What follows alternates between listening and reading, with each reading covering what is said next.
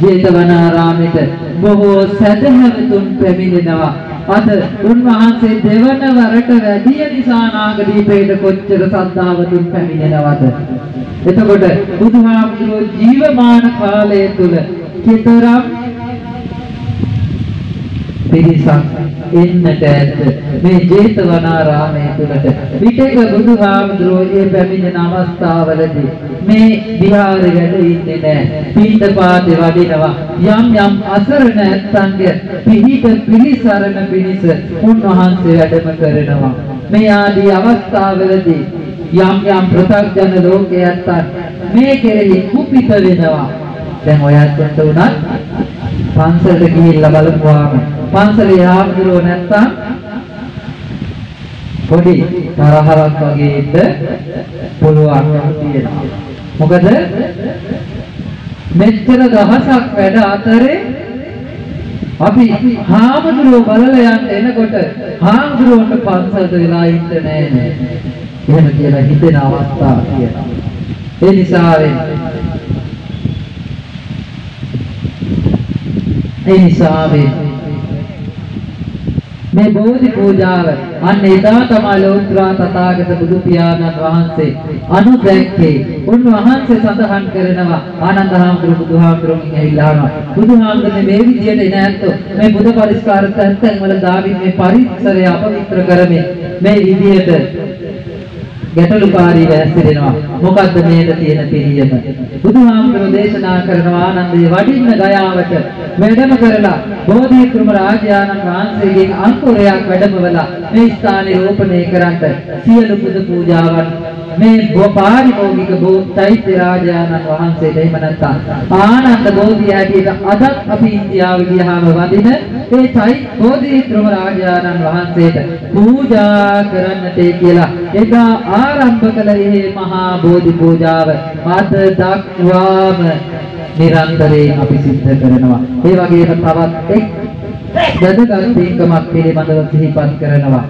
එකක් ධර්මාසන පූජාවක් සිද්ධ කරනවා. නාගදීප විහාරස්ථානයේට ඒ වගේම තවත් ඉතාම වැදගත් පූජාවක් ජීවමාන සංඥාවෙන් ලෞතර තථාගත බුදු පියාණන් වහන්සේගේ ඒ ශ්‍රී දේහ ශරීරයේ අසූරියනක් වූ ඒ ශරීරයේ වෙනුවෙන් නිමවන ලද ඒ මිනුම් වලට අදාළව සිද්ධ කරන ලද ඒ සුගත චීවර පූජාවක් සිද්ධ කරන්නට යෙදුණා. සුගත චීවර පූජාවේ ආනිසංස අර කියපු ආනිසංසම තමයි කංචක පූජාවෙන් ලැබෙන ආනිසංස.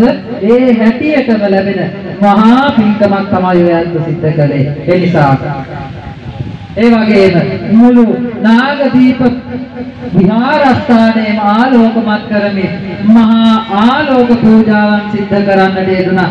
ජීවිතේ සාංශාරික ගමනේ ඔබට මට ආලෝකය ලැබෙන ධර්මාව ධර්මාලෝකය පහල කරගන්නට ධර්මාව බෝධය ලබන්නට මේ ධම්ම චක්ෂුව පහල කරගන්නට හැකියාව ලැබෙන මහා පින්කමක් තමයි ආලෝක පූජාව කියලා කියන්නේ. ඒ ආදී කොටගත් උදෑසන කාලේ සීල සමාදානයේ ඉඳලා මේ දක්වා සිද්ධ කළ මහා පින්කම් පිළිබඳව දේශනා කරන්නට ගියොත් කාලේ ඉක්ුත් වෙනවා. තව ඉදිරියටත් බොහෝ පින්කම් ඇති නිසා වෙනවා.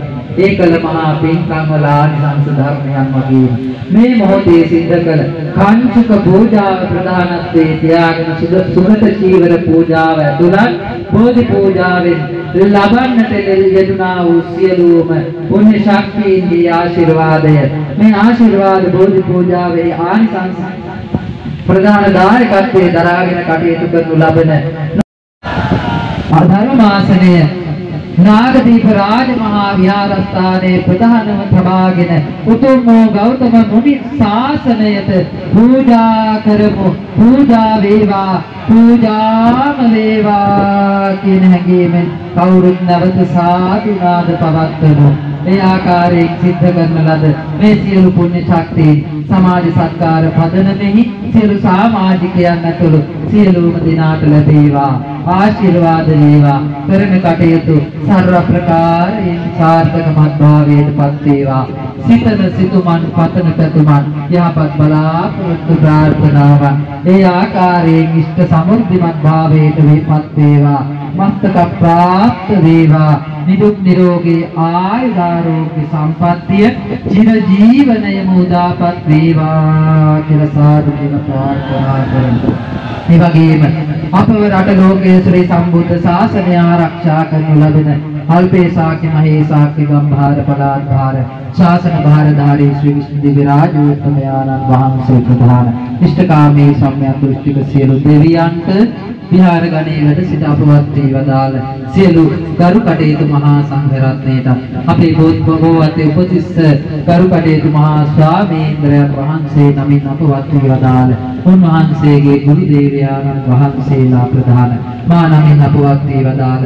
මා ගුරු දේවෝත්තම කහවත්තේ ශ්‍රී රතන ජෝති අභිධාන නායක ස්වාමීන්ද්‍රයන් වහන්සේ පෙරටු කොටගත් ඔබ අප හැම සියලුම දෙනා නමින් මිය පරලව යන්නට යෙදුන ගුරුවර දෙමාපිය ඥාති හිත මිත්‍ර සියලුම දෙනාටත් විශේෂයෙන් මේ මෑතකදී මිය පරලව යන්නට යෙදුන ආදරණීය මෑණියන් වහන්සේ අපේ ගෞරවනීය ලොකු හාමුදුරුවන් වහන්සේගේ. එතුමියන් සිහිපත් කරනවා. විහාරස්ථානයේ පැමිණෙන සෑම අවස්ථාවකදීම අපිට සිහිපත් වෙනවා. එනිසා වෙන එතුමියන් ඇතුළත් සියලු මළගිය ඥාතිවරුන්ට මේ පින් අනුමෝදන් වේවා.